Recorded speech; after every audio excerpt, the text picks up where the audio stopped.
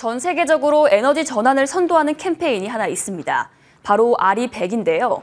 기업이 스스로 에너지 전환을 주도하는 아리백은 이제 명실공히 세계 에너지 시장의 변화를 이끌고 있다고 해도 과언이 아닙니다. 머니투데이 방송은 이번에 RE100 대표와 최근 에너지 현안에 대한 인터뷰를 진행했는데요. 자세한 내용 취재 기자와 함께 알아보겠습니다. 산업부 연현석 기자 나와 있습니다. 안녕하세요. 네, 안녕하십니까. 예, 우리나라에도 많은 기업들이 아리백에 가입을 하고 있습니다. 네. 아리백 다들 아시겠지만 한번 정리를 해주시죠. 네. 알리백이라는 것은 이제 기업들이 제품을 생산을 하거나 아니면 이제 서비스를 제공할 때 필요한 에너지를 100% 재생 에너지로만 공급한다는 겁니다. 뭐 제가 자세히 설명을 해도 되겠지만요.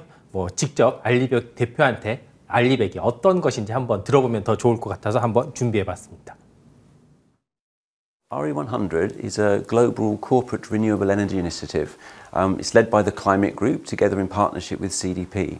Um, our goal with this is we have 400 companies almost now who have made a commitment to 100% renewable electricity procurement.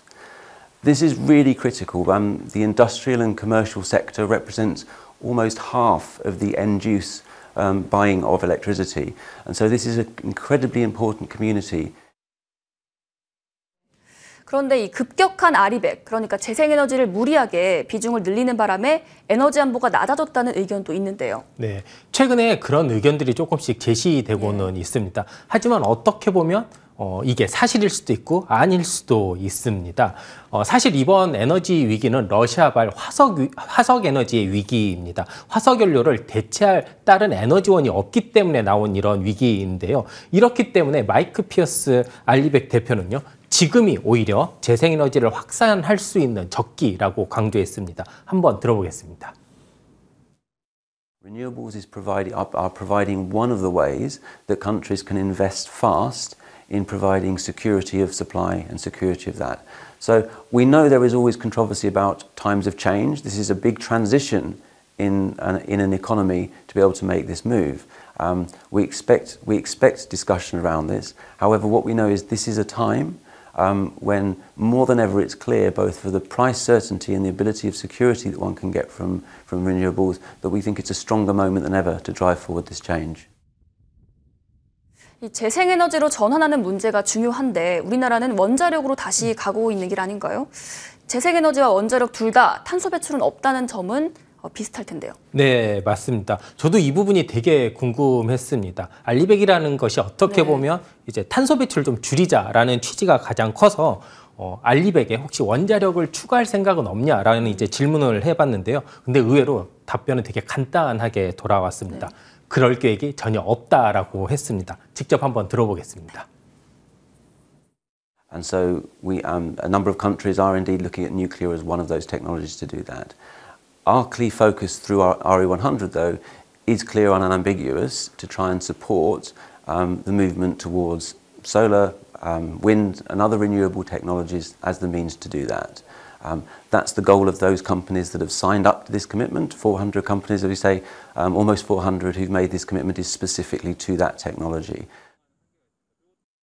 그런데 탄소 중립 달성을 위해서 재생에너지 전환만큼 중요한 부분이 있다고요. 네, 그렇습니다. 재생에너지의 전환만큼 바로 에너지 효율성을 높이는 것도 굉장히 중요하다고 합니다. 에너지 소비를 줄이면 그만큼 더 탄소 배출을 줄일 수 있기 때문에 가장 빠른 길이라는 겁니다. 하지만 이제 우리나라 같은 경우에 에너지 효율 문제 그동안 많이 관심이 없었습니다. 최근 효율을 최근에 들어서 이제 효율에 대해서 조금씩 관심을 보이고 있는데요. 사실 효율 부분에서는 우리의 이제 경쟁 상대국이죠. 일본이나 대만 보다 다소 뒤처진 것도 있습니다. 이렇게 알리백과 같이 이런 효율을 높이자는 국제 캠페인도 있는데요. 이게 바로 EP100입니다. 네. 우리 기업은 지금까지 어느 곳도 이 EP100에 가입한 곳이 없습니다. 하지만 일본과 대기업, 일본과 대만은 이미 EP100에 조금씩 가입을 하고 있다고 합니다. Last year we were really pleased we had our first um, Japanese manufacturing company Omron join EP100 Um, we also had a company in Taiwan, Taiwan, Taiwan Cement, join EP100, another manufacturing company. One of the fastest ways that you can make a contribution to reducing emissions and to making savings is to think about the opportunities for energy efficiency. The fastest way you can make a difference is to use less energy. 우리나라는 지금까지 에너지 정책을 정말 양적인 측면에서만 세웠습니다. 우리가 필요한 에너지가 이만큼이고 어, 안정성까지 확보해야 되니까 아, 이만큼을 더 공급하자. 그런데 지금 상황을 보면 패러다임이 많이 바뀌고 있기 때문에 이렇게 양적인 공급만으로는 절대 해결을 할 수가 없습니다. 이 때문에 우리는 지금 까지 해오지 않았던 수요의 문제에 대해서 한번 고민을 할 필요가 있습니다. 그러니까 우리에게 정말 익숙하지는 않지만 이제는 좀 에너지를 덜 쓰는 방식에 우리가 좀 익숙해져야 하는 때입니다. 다시 말해 에너지의 효율성을 높이고 덜 쓰는 이런 절약에도 조금 더 많은 관심을 보여야 할 때입니다. 예, 오늘 자세하게 정리를 해주셨는데요. 오늘 말씀 고맙습니다. 네, 감사합니다.